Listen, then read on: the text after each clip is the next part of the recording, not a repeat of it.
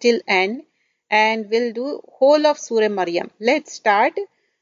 نحمده نصلي على رسوله الكريم أما بعد فأعوذ بالله من الشيطان الرجيم بسم الله الرحمن الرحيم رب اشرح لي صدري ويسر لي أمري واحلل عقدة من لساني يفقه قولي رب زدني علما آمين سورة الكهف آية number 75 قال ألم أقل لك إنك لن تستطيع معي صبرا قال إن سألتك عن شيء بعدها فلا تصاحبني قد بلغت من لدن عذرا قال ألم أقل لك إنك لن تستطيع معي صبرا He said, Did I not tell you that you can never bear with me patiently?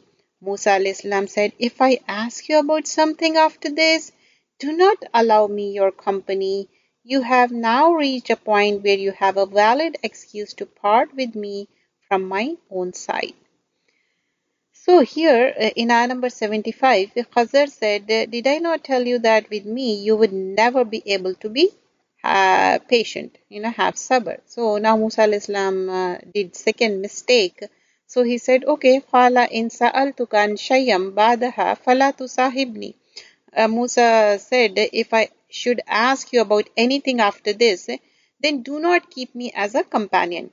You have obtained from me an excuse, meaning then you can send me away. If I ask you one more time, then you can send me away because three chances are good, right? So three chances are good. So here the hadith, the Prophet ﷺ said, May Allah have mercy on Musa and had been patient we could have learned more.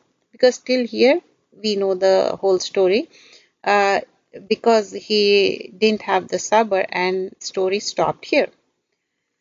Fantalaka in ayat number 77 so they set out until when they came to the people of a town. They asked its people for food but they refused to offer them any hospital uh, hospitality.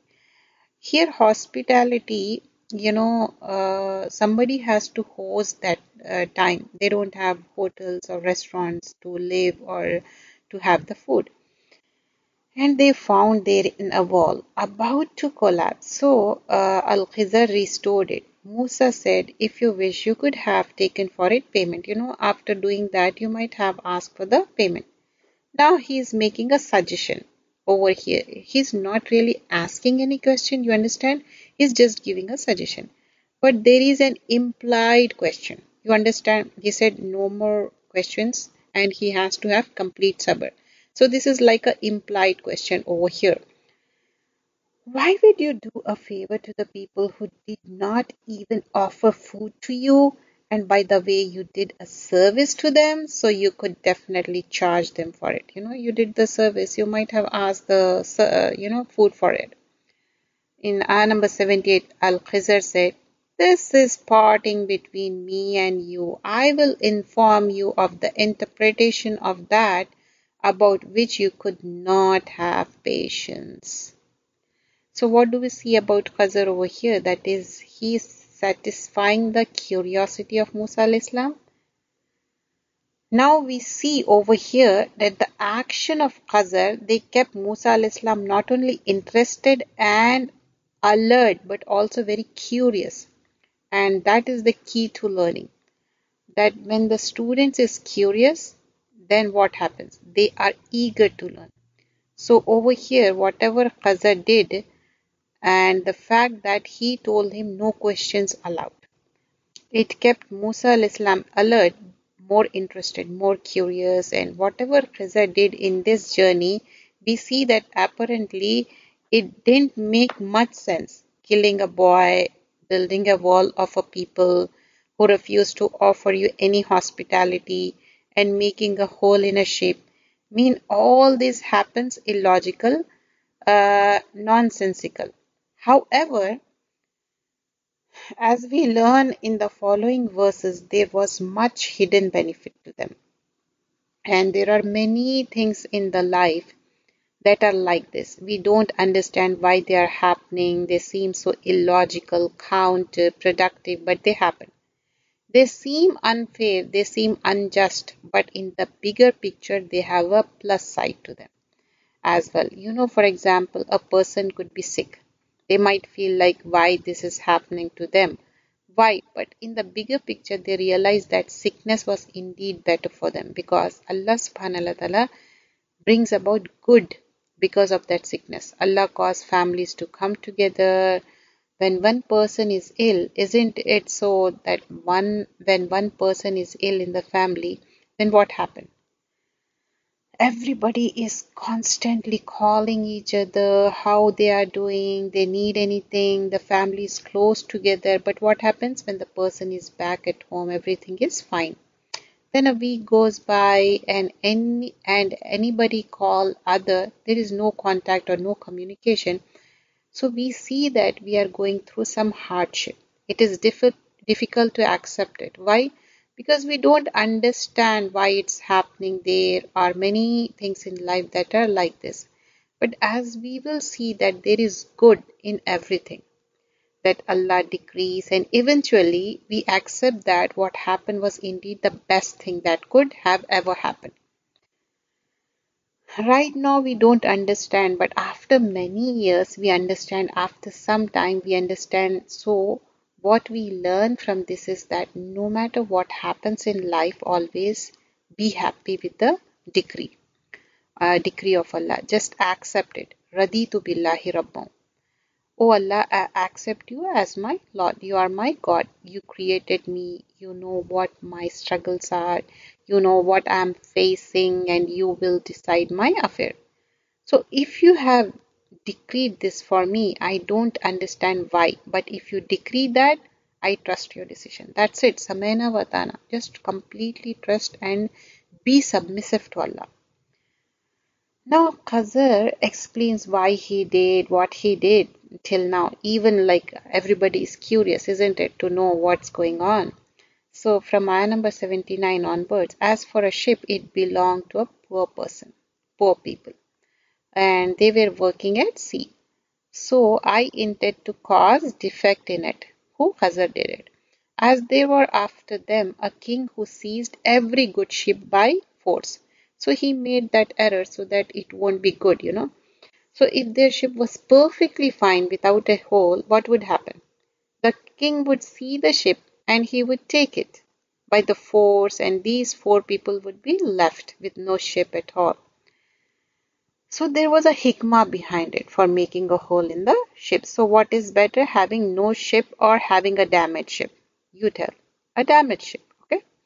And here, as for the boy, his parents were believers, and we fear that he would overburden them by transgression and disbelief.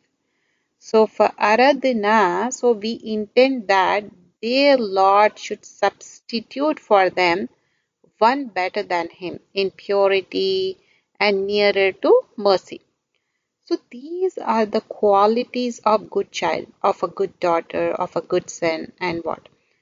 That a good child is khayram minhu zakatum wa aqrabu rahma, a respectful and one who shows good akhlaq to his parents because the parents are more deserving of good akhlaq and they are the most deserving of our love, our mercy, respect, obedient, and likewise. They are almost uh, deserving of Salatul, Silatul Raham. That we should maintain ties with them, that no matter what they do, we still stay connected with them, isn't it? No matter what mistake they made, we will forgive them and we show mercy to them and ask Allah to show mercy uh, to them as well. Ibn Ka'b reported that Rasulullah said, Hadith, the boy whom Al Khazar had killed would grow up to be a disbeliever. And had he lived, he would have moved his parents to rebellion and unbelief so. So that is the reason he was killed. So you see it's somebody's choice if they want to do be a disbeliever that's fine. If they don't want to believe they want to have a different faith that's perfectly fine. However when this was caused damage to the parents and caused them pain and hurt ibn bin Ka'b said he would have moved his parents to rebellion and unbelief So, meaning he would make them disbelieve also. Then this was the problem. Now, what do we see over here? That uh, there are hidden benefits in every decree of Allah Azawajal, in everything that goes against our wishes. Remember that there is benefit. Allah knows and we do not know. But what we see in this verse is that child who is rebellious to his parents, was he deserving of life? What happened? His life was taken away. Why? So that he is not a source of hurt and annoyance for his righteous parents. So what does uh, this teach us? Hurting parents is that something acceptable causing them pain is that okay? No, no way no causing them grief this is a sin. And it has consequence in the life also. So anytime we see there is some difficulty in our life and we cannot understand why it's happening what's the solution? What's the uh, way forward is think back. Think how uh, was i to my parents? Did i ever do something to hurt them? If i did apologize. Is there something I am doing that my parents do not like? Fix it. Pray for them also. Pray for the parents also because disobedience to parents, hurting parents, this is something that has terrible consequence. In this life also, it's a major sin. Please rectify this mistake. If you are, you know, unreasonable to your parents, please rectify it. So here I number 82 onwards, and as for the wall, it belonged to two orphan boys in the city, and there was beneath it a treasure for them, and their father had been righteous. So your Lord intend that they reach maturity and extract their treasure. So what do we see over here? If the parents are righteous, then children benefit in this life, life also, regardless of whether they are alive or not because these parents were dead, their children were orphans. Remember, we do not uh, protect our children. Who protect our children? Allah subhanahu wa ta'ala. And um, we don't protect our property. Who does? Allah does it.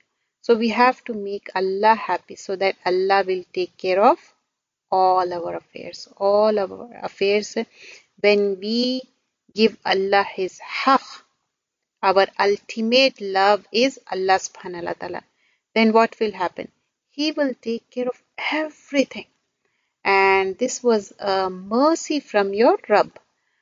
Rahmatam mir Rabbika. And we are always in need of Allah's mercy.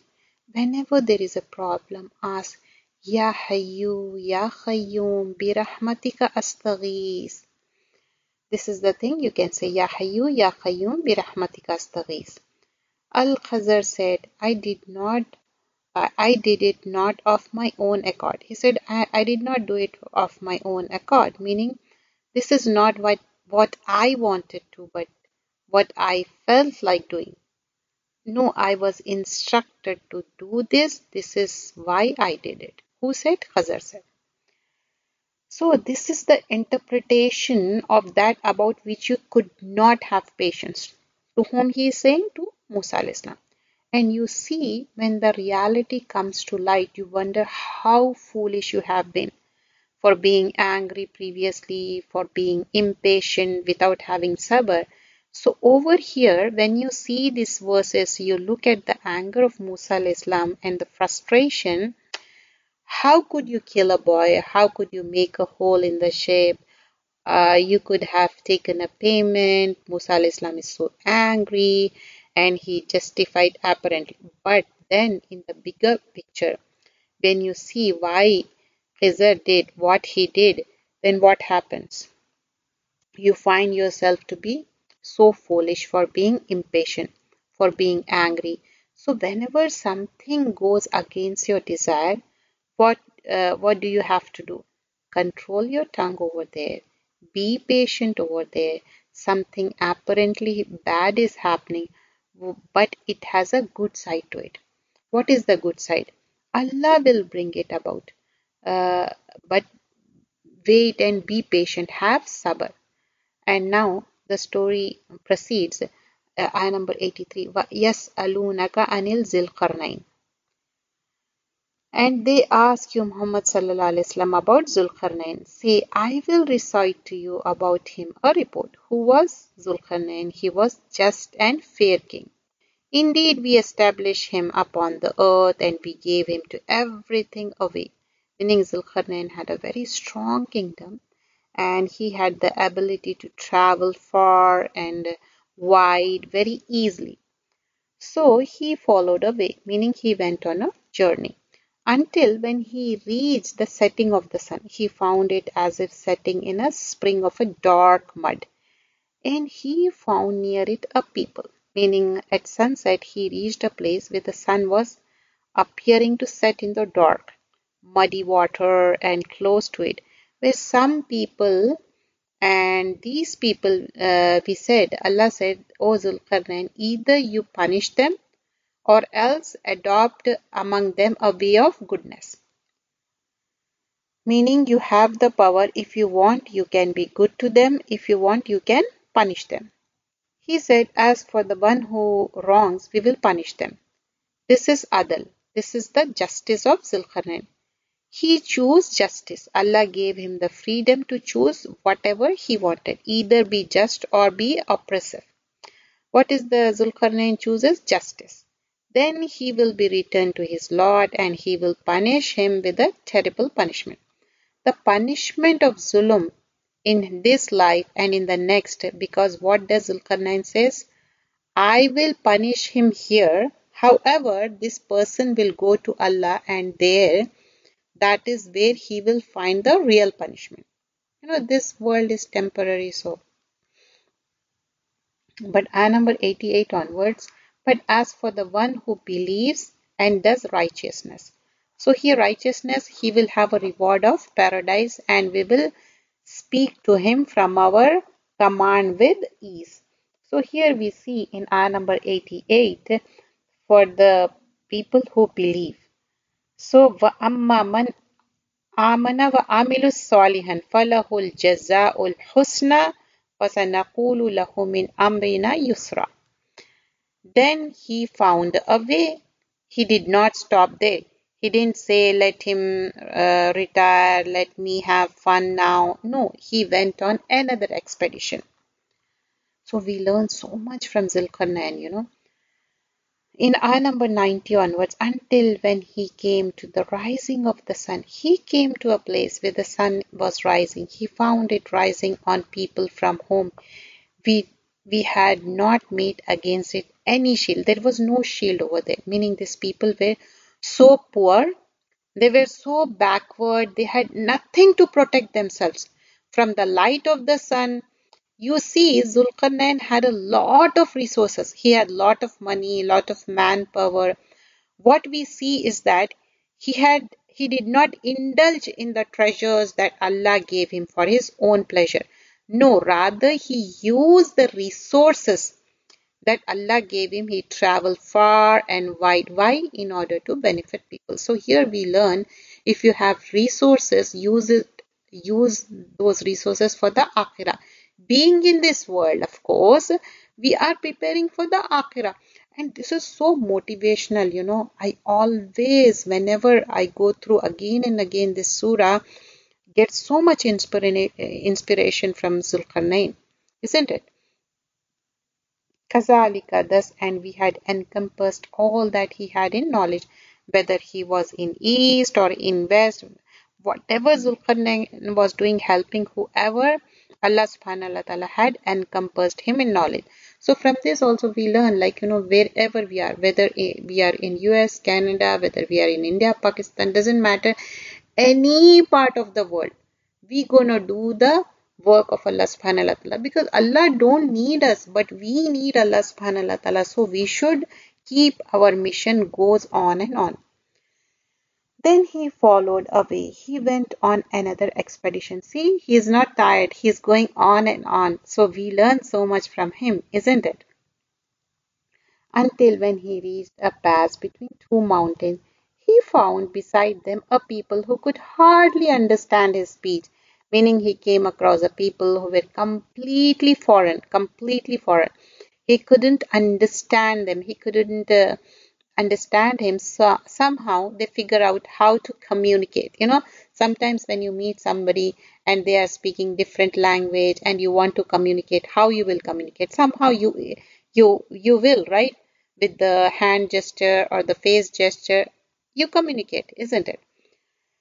So they said, O Zulkarnain, indeed Yajuj and Majuj are great corruptors in the land, meaning over here Yajuj and Majuj live, so may be a sign for you an expedition that you might make between us and them a barrier, meaning please make some barrier between us and them. Uh, they are creating a lot of fasad, save us from the evil and we will pay you. So Zulkarnain said, that in which my Lord has established me is better than what you offer. Means i have so much you know lord has given me so much. And this reminds me of uh, suleiman al-islam. That time also suleiman al-islam when he uh, received the gift from uh, sheba uh, he said the same thing hazafin hazamin fazli rabbi. I have so much fazl from my rabb. Allah has given me so much. So the same thing here zulkarnain said Look, he's not greedy over here. He's not conquering lands or traveling, going to different places for the purpose of oppressing people. The reason why he's traveling everywhere is eh, so that he can help people. So, what happens here? So, when they offer him money, he says, What I have already is enough. It is good. And this is the sign of a good leader. He does not focus on receiving, he focuses on giving. And he said, but assist me with the strength meaning I need you to work with me. I will make between you and them a dam. So bring me sheet of iron. Now he is using the asbab means until when he had leveled them between the two mountain walls, he said, blow with the bellows. This shows that this fire was not small because if pieces of iron are now going to be melted and these pieces of iron are between mountains. That fire must be huge. Okay.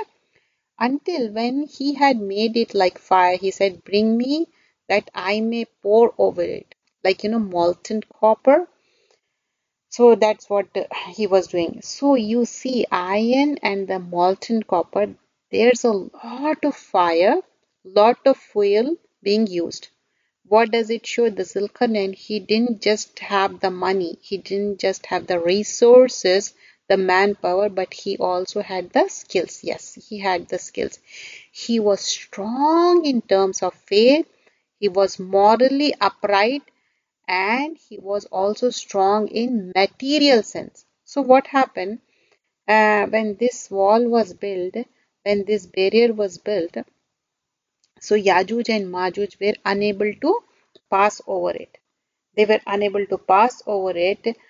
And uh, now where they are able to affect in any penetration meaning he would make a hole in that wall in order to break it. They couldn't go over it. They couldn't uh, break through it. So they were locked behind it. Now imagine what a great achievement. So look how awesomely he did it subhanallah and number 98 zulkarnain Haza rahmatum min Rabbi. He is saying, This is mercy from my Lord. You know, everything you do, but only from mercy of Allah. Don't think, oh, I did it. You know, no, we are nothing. Only Allah. Haza rahmatum min Rabbi.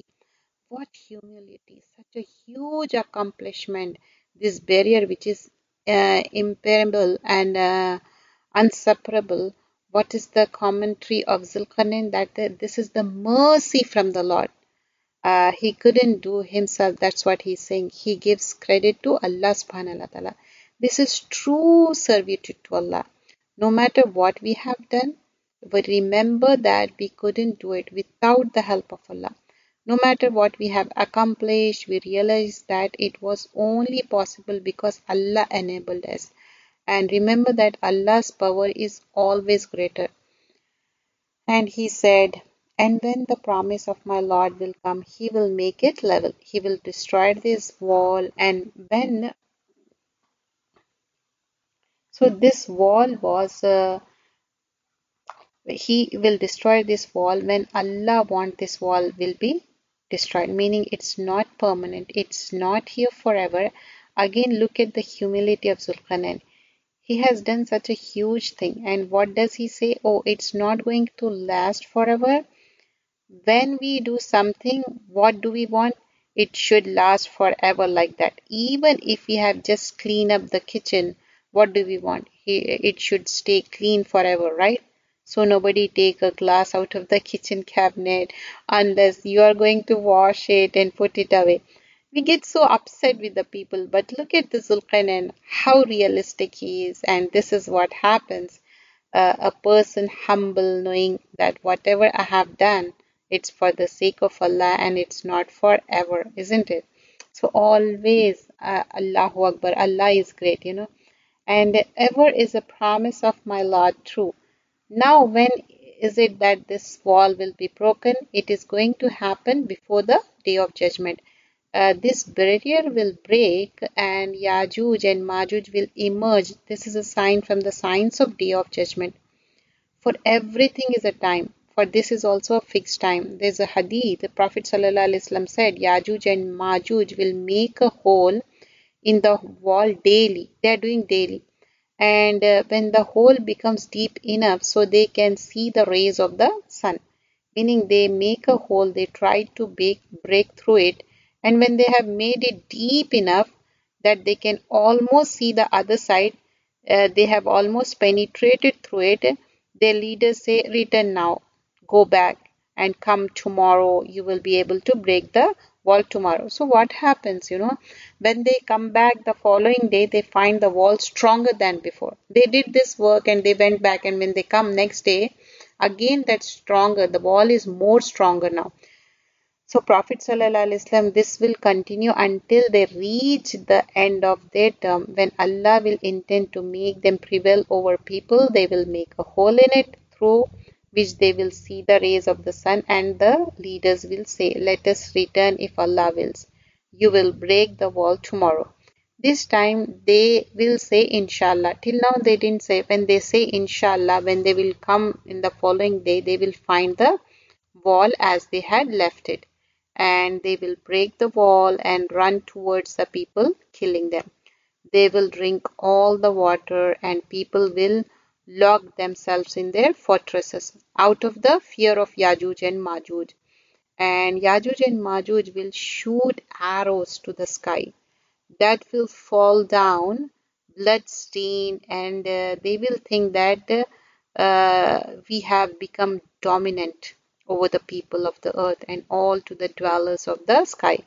And after this, Allah causes a beetle to infest their necks and it will become the cause of death of all of them. And Prophet ﷺ said, By the one in whose hand is the soul of Muhammad ﷺ, all the animals, insects of the earth will become strong by eating their flesh and blood Because there will be so many of them that the beast of the earth, they will consume the bodies of Yajuj and Majuj so many of them and may Allah protect us from this fitna Ameen and ayah number 19 وَتَرَكْنَا بَعْضُهُمْ يَوْمَئِذٍ يَمُوجُ فِي بَعْضٍ and we will leave them that day surging over each other a scene of the day of judgment is mentioned here وَنُفِخَ فِي السُّورِ فَجَمَعْنَاهُمْ جَمْعًا and then the horn will be blown and we will assemble them in one assembly when the trumpet will be blown the first time what will happen all those who, who are on the earth will die and the trumpet will be blown the second time then all people will rise from their graves groups and groups of people huge crowds like of which do not exist like you know yamuju fil bad of surging over each other as if uh, waves وَأَرَدْنَا جَهَنَّمَ يَوْمَئِذٍ لِلْكَافِرِينَ عَرْضًا And we will present the hell that day to the disbelievers on the display. Meaning on the day of judgment, he will brought so that people will see it. So this is how it's gonna be. This is very scary thing, you know, especially uh, the topic of Jahannam. those whose eyes had been uh, within a cover removed from my remembrance and they were not able to hear. These are the people who did not listen to Allah's word in this life. So, what will happen on the day of judgment? They will be deaf and blind. What is the only thing they will see? Hellfire. May Allah save us all. And ayah number 102 then do those who disbelieve think that they can take my servants instead of me as allies in indeed we have prepared hell for the disbelievers as lodging so in ayah number 102, أَفَحَسِبَ الَّذِينَ كَفَرُوا أَن يَتَّخِذُوا عِبَادِي مِن دُونِي أَوْلِيَاءَ إِنَّا أَعْتَدْنَا جَهَنَّمَ لِلْكَافِرِينَ نُزُلًا So this is the so bad hospitality is Jahannam. Like setting up partners with Allah um, and only uh, He's the only creator, He's the only Khalik. This is the most unjust thing that a person could ever do, doing the shirk with Allah because he has no partner. The entire creation, his creation, the entire dominion, his dominion, and to say that anyone has share of that, that is a great injustice. Zulmun Azim. Think about uh, as a people when we own some property. For example, as women, we own some jewelry. So what if somebody said, "Oh, you know, what is this ring? I also have share in that." So yeah, you can uh, wear it few days, but I need to wear it the rest of the days. Would you accept it? No way, right? My husband gave it to me and who are you and so blah blah blah. So we want uh, the thing what we own. We don't want anyone to have it. So how come Allah made it? He is Khalik, Malik and Mudabbir and we are giving credit to any other person? No way, we can't do that. Ayah number 103 Say, O Prophet ﷺ, shall we inform you of the greatest loser as to their deeds? Would you like to know who will suffer the most? Who are the behind in terms of their efforts? Who are they? قل هل ننبئكم بالأخسرين أعمالا they are those whose effort is lost in the worldly life. Why? Because their efforts resolved around this world only dunya and only dunya. They slept with the worries of this world, they woke up with the concerns of this world, and all the day they spent chasing the pursuing the matter of this world only. While they were living their lives in this way, they were thinking that they were doing well. They thought that they were doing good stuff. They didn't even think that they were doing something wrong. And here we see in the following ayah those are the ones who disbelieve in the verses of their Lord and their meeting Him. So their deeds have become worthless, and we will not assign to them on the day of resurrection any importance. So here this because ulaika allazina kafaru bi ayati rabbihim waliqai fahabitat amaluhum fala nuqimu lahum yawm al-qiyamati wazna and here we see, look at this, those who strive only for this world, forgetting Akhirah. What does Allah say on the day of judgment? Will they have any reward? No. Will they have any way of earning the pleasure of Allah? No way. They will be the worth of uh, of their deeds. Nothing. Why? What was their fault? They reject Allah's ayah. Why? Because the success of this world was more important to them. They wanted to what they wanted to. They didn't want to care about halal and haram, the laws that Allah has revealed, the right and the wrong. No for them. What was their ultimate goal? The pleasure, the pursuit of happiness. Where in this world? And for that they were willing to give up anything. Just think about, just imagine, reflect on the fact that there will be a time when we will be standing before our Rabb without any interpreter, without any helper in the middle before us, the fire, and on the right and our left, our deeds and full authority is with only Allah. If He wants, He can forgive. If He wants, He can punish. What we want at that time? What would we desire at that time? Allah's forgiveness, Allah's pleasure. And so, if we want it, then we have to work for it right now we have to do those things because of which Allah will forgive us. We have to do those actions because of which Allah will be pleased with us. There's a hadith.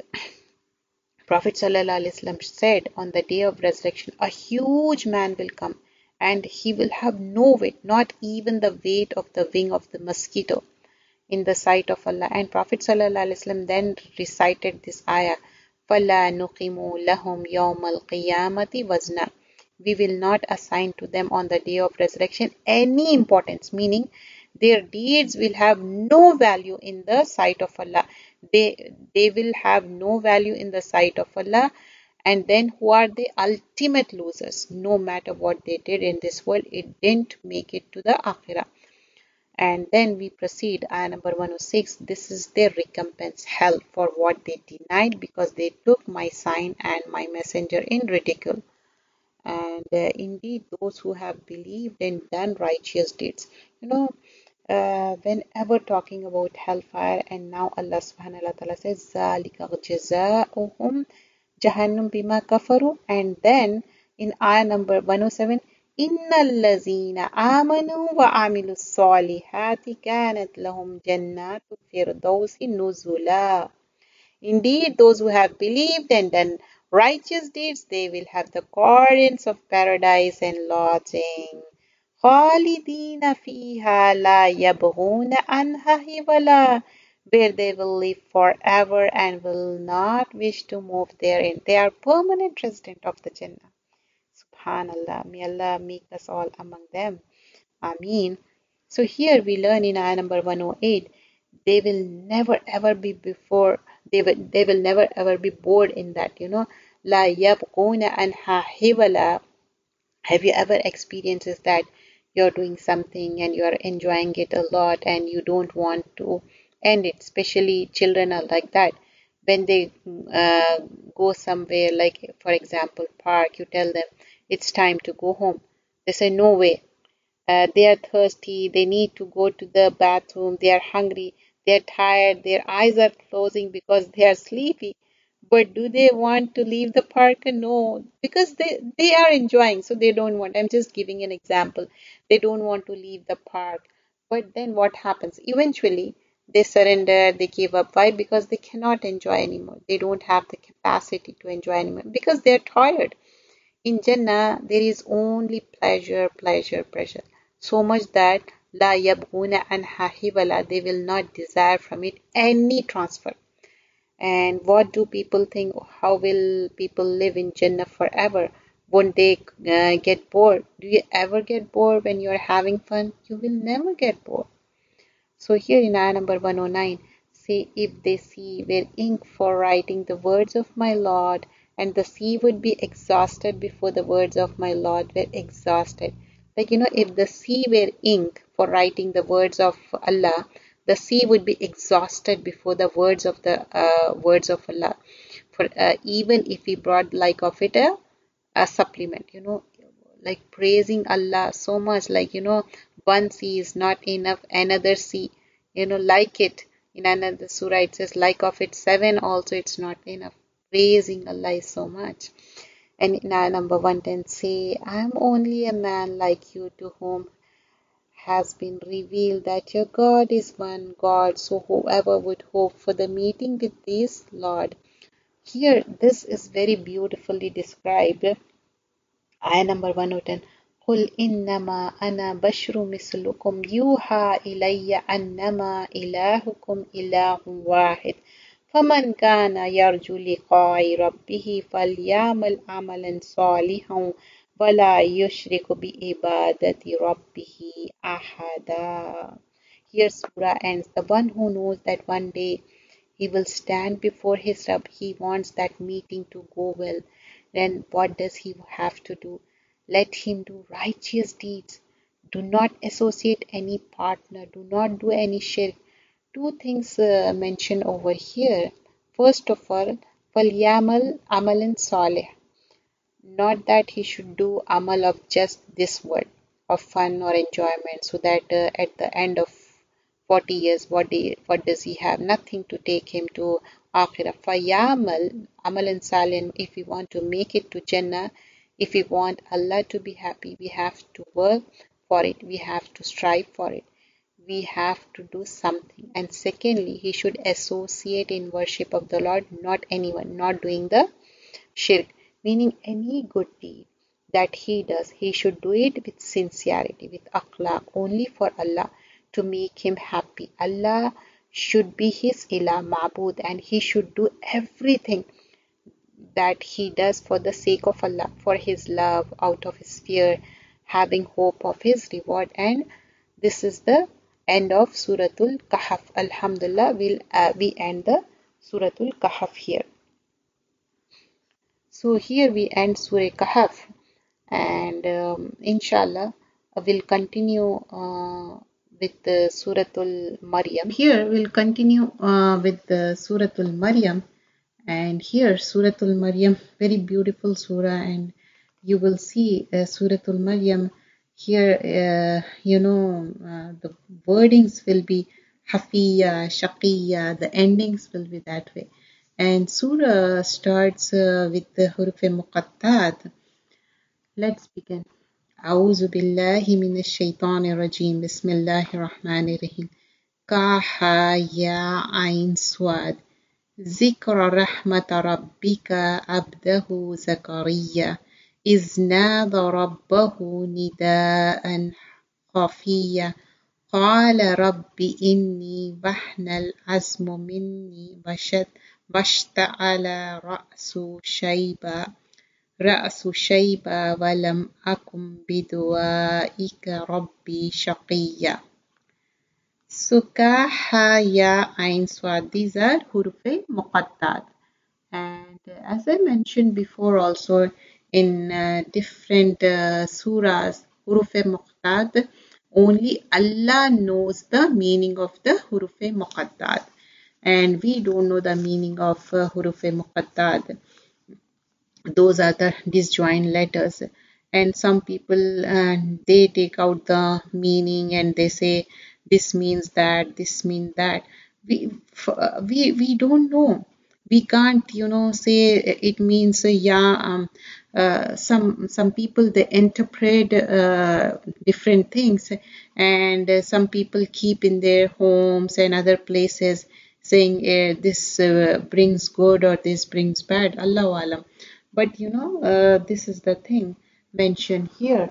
So here we see mm, talking about uh, Suratul Maryam, let's uh, continue here. So here Suratul Maryam uh, will uh, see from ayah number 1 onwards. Kaha ya ain swad. The ayah number 2 is Zikru Rahmati Rabbika Abdahu Zakaria. This is a mention of the mercy of your Lord, his servant Zakaria. Zakaria al-Islam has been mentioned here. And when he called to his Lord, in a private supplication. In heart, quietly, secretly, he made dua. Why? Because the Lord hears all voices, hears out our heart, even uh, when we do not utter the words or articulate our feelings. Allah understand. He said, My Lord, indeed my bones have become weak. So here is nada rabbahu nida and khafiya. Secretly he is calling and he says, قال ربي إني وهن أزم من اشتعل رأس شيبة ولم أكن بدعائك ربي شقيا look at the way of making dua this shows uh, like you know they show how we should make dua you know also in the time of need in the time of weakness pain hardship worry hurt grief and narrate your sad story before who? Allah subhanahu wa ta'ala, not before people because what are people going to do? Allah already knows what we are going through. He's the one who decreed it. But when you pour out your feelings before Allah, when you talk to Him about what you are going through, it lightens your heart and it invites the mercy of Allah. It invites His mercy. He said, And what my head has filled with white and never have I been in my supplication to you, my Lord, unhappy. Look at how hopeful he is. So always, no matter how difficult the situation has become, always, always remain hopeful. Why? Because even like because every night is followed by the day. Yes. So every problem has end to it. So look at the words of it. Zakaria al-Islam that Walam akum biduaika rabbi shaqiya that I have never despaired. I have never thought that it's not possible. I have never given up on you, Allah. He's saying that Walam akun biduaka rabbi shaqiya. Shaqiya is, you know, despairing. He said, I am not despair with you, Allah subhanahu wa ta'ala. I haven't ever even gone that side. I trust you so much. I'm so confident in you This is the thing we all should have no matter what we are going through doesn't matter but we have to have complete complete trust and faith on Allah subhanahu wa ta'ala. وَإِنِّي خِفْتُ الْمَوَالِيَ مِنْ وَرَائِهِ And indeed I fear the successor after me. The dua of Zakaria al-Islam was basically for the children. He want to have children. Why is that so? He want to have children. He said that I fear the successor after me, which means that he did not want children for himself. Rather, he want children for the spiritual instruction of his people because he was worried about his people that when I die, who is going to teach them? who is going to lead them who is going to guide them who is going to inform them he, he is not for like you know airing the you know what the property who gonna have not that thing. He want uh, children for teaching them. And this tell us about the state of bani israel at that time. There were there was no one amongst them whom zakaria al-islam thought would be able to take this responsibility. Imagine there were so many Muslims of that time, but Zakaria al-Islam didn't think that anyone would actually take that responsibility seriously. So he wanted a child of his own home.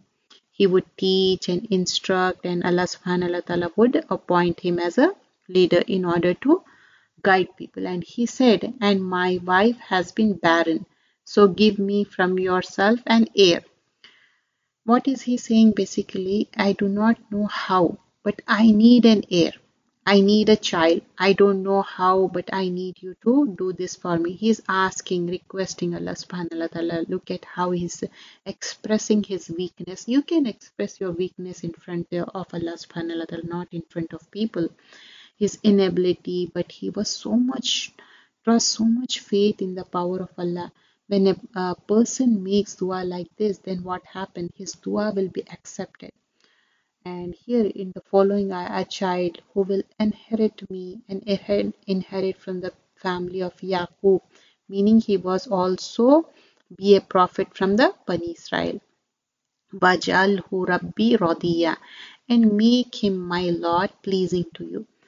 So Allah make him pleasing. You see these words, Waja'alhu Rabbi Radiya. You should make this dua for yourself also.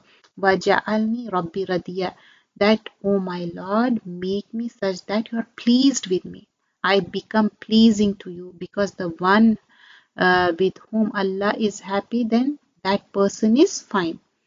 So Zakaria al-Islam was told, Oh Zakaria, indeed we have give you good tidings of a boy who will name will be whose name will be Yahya. We have not assigned this name to anyone before. So here we see Allah is giving good news, not only good news, that is a good news of a boy, and also Allah gave the name Yahya. And meaning Yahya was a unique and beautiful name.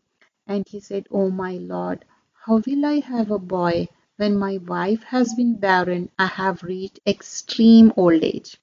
He is in extreme old age. Now he is surprised himself, and many times it happened that you made dua for something.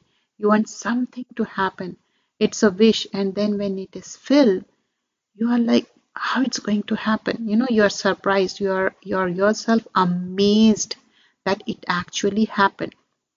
Like for example, you are talking to somebody about coffee at the masjid and after iftar and what happened a friend of yours walks in with three coffees you just had the desire that wish and allah subhanahu wa ta'ala fulfilled it immediately we experience such thing then what when it happens we are shocked we are surprised who told you how did you find out and then when we say i wish i asked for something better i wish we had thought about something better so we see this uh, natural. So Zakaria al-Islam is surprised and that how can I have a child? And angel said, Thus it will be your Lord, says, It is easy for me. For I created uh, before you while you were nothing. So Allah is saying, you, you remember you were nothing and I created you. So this Allah's power, whenever something is difficult, seemingly impossible, ask Allah that, Ya Allah, I want to do this. I don't know how I'm going to do this. You make me do it. I'm I'm so weak. I don't even know how to figure this out. You help me figure it out. You help me. So and pray with conviction and with yaqeen Place all your trust in Allah subhanahu wa ta'ala. Believe me, Allah will answer it. Because Zakaria al-Islam, he placed his trust on Allah and Allah answered it. And Zakaria al-Islam said, My Lord, make me for a sign. He has complete conviction, but you know, he said, Your sign is that you will not speak to the people for three nights being sound. Even though you can speak, but you won't be able to. You're going to be mute for three days. So he came out to his people from the prayer chamber and signaled to them, you know, because he, now he can't speak. So he's signaling to the people uh, to exalt Allah in the morning and afternoon. Look at this, you know. Now he's quiet, he's mute, but he's praising Allah subhanahu wa ta'ala morning and evening. Just imagine you're getting something and what you're asking for, that too in the old age, what you're going to do. You praise Allah subhanahu wa ta'ala, isn't it? When he received the good news of a child, what is he doing? He busies himself in the remembrance of Allah morning and evening. He tells the people to do the same thing also. Anna sabbihu bukratan wa ashiya.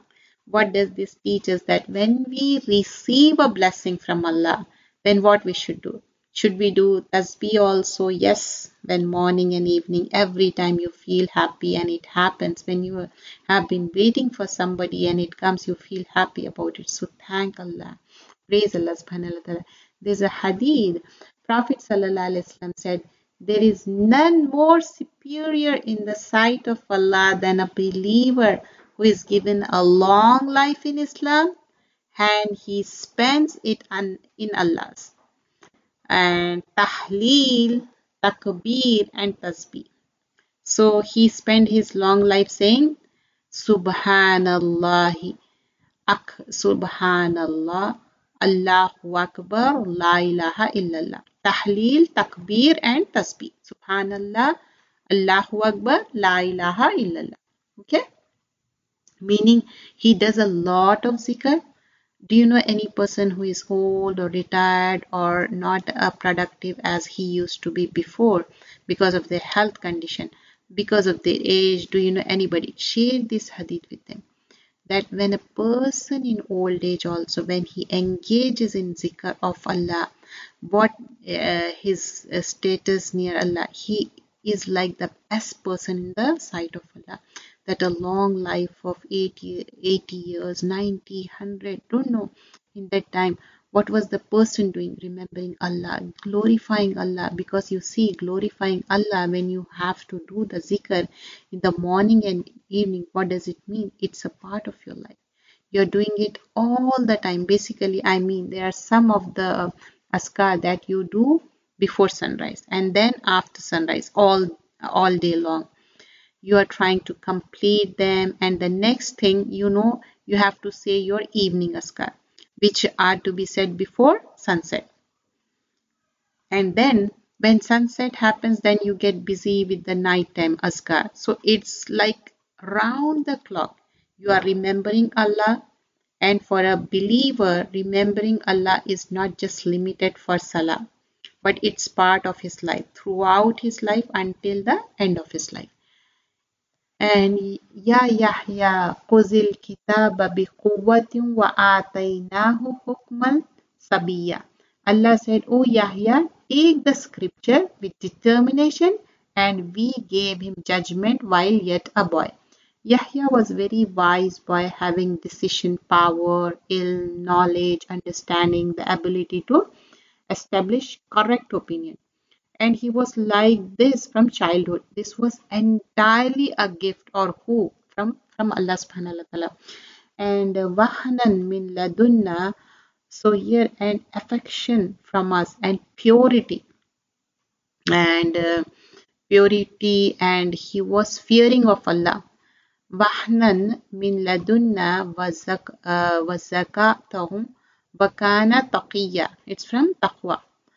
So here we see وَبَرٌّ بِوَلَدِهِ وَلَمْ يَكُنْ جَبَّارًا أَسِيًّا a dutiful to his parents. He was very obedient towards his parents and he was not a disobedient tyrant. Valam, he, he wasn't Jabbar or Asiya. These are the qualities of a good child. Am I like those to my child, uh, like, you know, to my parents? Just think about yourself. Are you, uh, your akhlaq is good or not?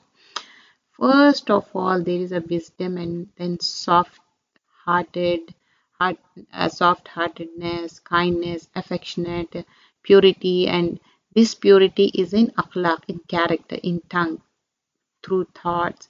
And then talking about taqwa, which means that a person will be good towards his parent. That is what is mentioned. Barri wabi waladi walidayhi. To the two parents, he is good. You see, goodness towards parents has already been mentioned so many times in the Quran which means that this is something that we do not have a choice about it. So by the end of this, what is the goal we should when we are doing this surah and what we are learning other surahs too. So we should learn from it, being uh, very good towards our parents. Walam yakun jabbarin asiya. He was not disobedient tyrant. He was not jabbar. He was not hard-hearted or rough or rude or bad akhlaq. No, not like that. okay and and peace be upon him the day he was born and the day he dies and the day he is raised alive and mention o prophet in the book the story of maryam when she withdrew from her family to a place towards the east and now the maryam al islam story starts from ayah number 16 this was when her mother decided to give her child for the service of allah subhanahu wa ta'ala she intended before uh, child was born. So what happened? Maryam al-Islam, when she was born, she was uh, taken to Baitul Muqaddas. And that is where she stayed in the private quarter, private chamber, dedicating her time entirely for the sake of Allah. She was uh, meant to stay there. And she took in seclusion from them a screen then when uh, we sent to her our angel and he represented himself to her as well proportionate man. So Allah sent the angel here. Why a man? Because this is how Allah sent angels to the people to commu communicate with them. We learn about the story of three people from Bani Israel whom Allah tested and he sent angels to them in the form of people and Ibrahim al-Islam, Lut al-Islam, when angels came to them, the guest, how they were in the form of human beings. So to Maryam al-Islam also, angel came in the form of human being. But look at her reaction. She has so much haya, you know. She said, Indeed, I seek refuge in the most merciful from you, so leave me if you should be fearing the Allah. Because seeing the man, she was so scared. She has so much haya meaning go from here. If you have any fear of Allah, you see, she had never been in such close contact with a man that a man enters her room.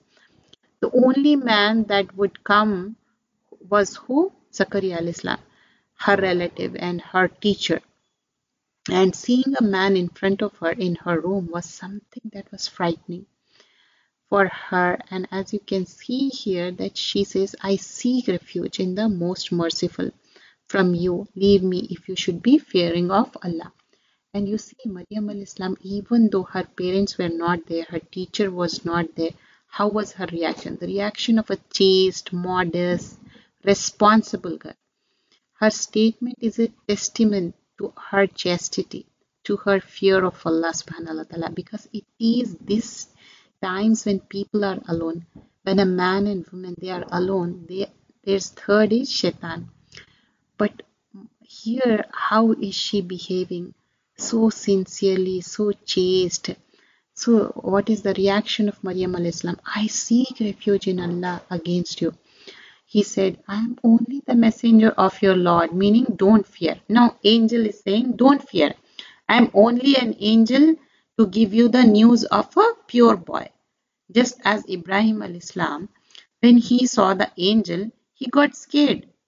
And Lut al-Islam said, I don't recognize you. He was also worried. He was apprehensive. And the angel said, don't worry, we are just messengers. So they said the excuse me, say, said the same thing to Maryam al-Islam. So she said, how can I have a boy? While no man has touched me and I have not been uh, unchaste. So he said, Thus it will be your Lord says, It is easy for me, and we will make him a sign to the people and a mercy from us. And it's a matter already decreed. Meaning, this is something that unavoidable. It's going to happen, but you have been told before.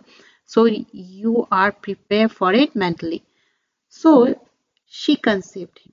She withdrew with him to a remote place.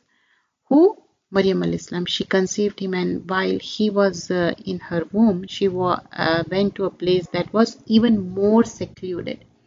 And eventually, the pains of childbirth drove her to the trunk of a palm tree. She said, Oh, I wish I had died before this and was an oblivion forgotten. Why is she saying this? Because firstly, she was worried, distressed, because uh, the pains of the childbirth they are undesir- understandable very hard to bear isn't it and so she is suffering from pain. So she is saying this. And moreover she was worried about facing people back back home that i'm supposed to uh, be a chaste and alone girl who lives in the temple worshipping allah. And now if i go back with the child how would i face the world? Immediately they are going to accuse me and they are going to raise a scandal against me how i'm going to defend myself how i'm going to establish my innocence. She's so concerned about it. It's a natural thing you know. But he called her from below her. An angel said do not grieve. Your lord has provided beneath you a stream. And shake toward you the trunk of the palm tree. It will drop upon you ripe fresh dates. See? She's there and she's getting the food also so eat and drink and be content. Not only eating drinking also. If you see from among humanity anyone say indeed i have vowed to the most merciful abstination. So i will not speak today to anyone any man. So uh, she was instructed not to speak to anyone and she will be quiet. Meaning when people come and they ask you they come and try to talk to you there is no need to say anything. There is no need to say anything to anybody and this is the best way of dealing with a false accusation that when somebody is falsely accusing you do not become defensive immediately calm down stay quiet because a person who is making noise is not in a state to listen to you. They are going to listen to you. They are just busy making noise. They are not even going to pay attention to what you are saying. If you try to speak, they will make more noise. So, what's the best thing to do? Just be quiet over there. Adopt silence and wait for the time when Allah will create circumstances in your defense. There's a hadith, the Prophet ﷺ said, Man samata naja whoever is silent he is from najat he is saved he's saved because imagine if she started arguing over here fighting back do you think the people could become violent against her do you think that uh, was possibility very, very easily unfortunately this is something very common in people who are religious that as soon as they see somebody whom they think has committed a sin immediately they will become violent Instead of working towards Islam, they become angry and violent. So Maryam al-Islam is told to be silent, just remain silent. And then she brought him to her people, carrying him. They said, as she expected, Oh Maryam, you have certainly done a thing unprecedented. What a big sin. Where did you get this child from? Notice they don't even ask her, Is this your child? They immediately come to the conclusion. They didn't ask, Is this your child? or so on. Mm, she has committed zina and so on and so forth. They said, O sister of Harun, your father was not a man of evil, nor was your mother unchaste. So she pointed to him because she was fasting. That uh, time, you know, fasting of being quiet Okay, imagine if we had to be keep a fast like uh, that, no talking, imagine. So she pointed to the baby. They said, How can we speak to one who is in the cradle, a child? And that boy, that boy, he speak. He said, Indeed, I am the servant of Allah. Who is saying that? Yes, baby is saying that. Baby is saying he is the servant of Allah. He has given me the scripture and made me a prophet. This was the miracle, you know. Allah has given that power so that He can talk. And He was made me blessed wherever I and I has enjoyed upon me prayer and zakat as long as I remain alive. Baby is speaking in the cradle and he is answering. And made me dutiful to my mother. And he has not made me a wretched tyrant. And giving that thing also you know he's saying my i am very dutiful to my mother. And peace on me the day i was born and the day i will die and the day i am raised alive. You know the day he was born and he gonna die and he will be raised again alive this is Isa al-Islam, the son of Maryam al-Islam. Whenever Isa al-Islam is addressed, he is called Ibn Maryam. The word of truth about which they are in dispute, it's not befitting for Allah to take a son. Exalted is He. When He decrees an affair, only He says, Kun fayakun, and it will happen. Indeed, Allah is my Lord, your Lord, so worship Him. This is a straight path. Now, these verses, this entire incident teaches us two main lessons. First of all, we see Maryam al-Islam was a pure woman. She was chaste, she was modest, and Allah subhanahu wa ta'ala put her in a great test that she passed. When we see that when she was put in a test, she does not complain or get upset that oh Allah, why me or why like this? How come I, I was not asked about it? What if i don't want to? No she accepted okay? Once she accepted then what happened? Allah subhanahu wa ta'ala also helped her. You see we all are servants of allah and allah subhanahu wa ta'ala uses his servants for the various purposes. So remember when allah subhanahu wa ta'ala imposes some test on us some difficulty on us don't begin to pity yourself. Because yes it is hard. It is hard though but inshallah through us hopefully some good will come about. You see many times it happens that a woman for example she goes through a divorce and she wonders why this happened to me and she is very upset about it. She's mentally exhausted or emotionally drained. She feels terrible about herself.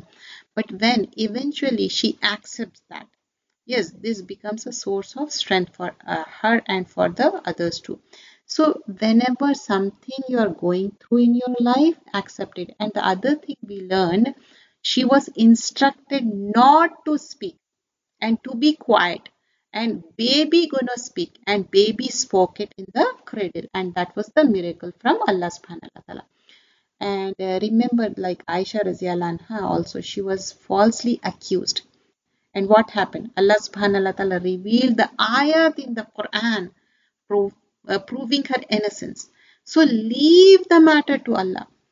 He put you in that test. He will make you go through it and He will take you out of it. You will be fine, inshallah. But that moment of time, you have to have the sabr and how the baby spoke and how the things happened. But she has gone through a lot. So we learn a lot of lesson here And ayah number 37, then the factions differed concerning Isa is from among them. So woe to those who disbelieve from the scene of a tremendous day.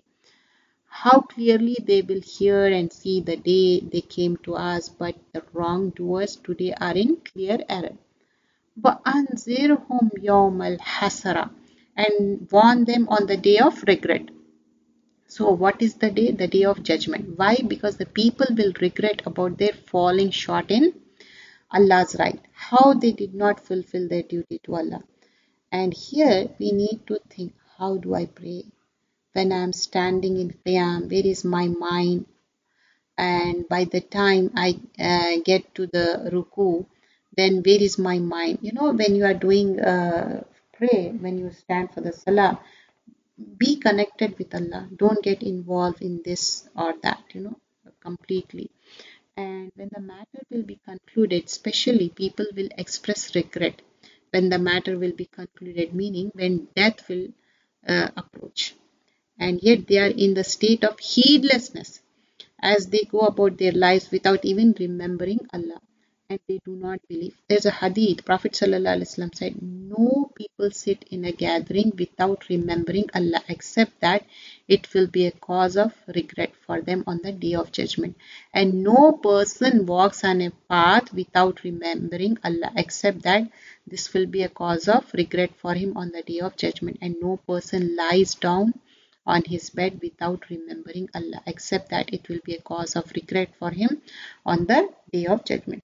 So anything if we want to be beneficial for us, what do we need to do? Remember Allah. Allah subhanahu wa ta'ala, while we engage in that act, that is why Prophet ﷺ encourage us to say Bismillah on receiving a blessing, Alhamdulillah, and all the time we are receiving blessings. And here in the on ayah number 40, we'll stop and we'll continue in the next uh, session, inshallah. Inna wa man alayha wa ilayna yurja'un. Indeed, it is He we who will inherit the earth and whoever is on it, and to us they will be returned. So everybody has to return to Allah subhanahu wa ta'ala. In the next clip, we'll continue inshallah. Jazakallah.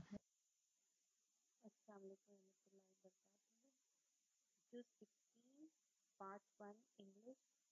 Here we're going to continue Kahf from ayah number 75 till end and Suratul Maryam from ayah number 1 to 40. Let's continue.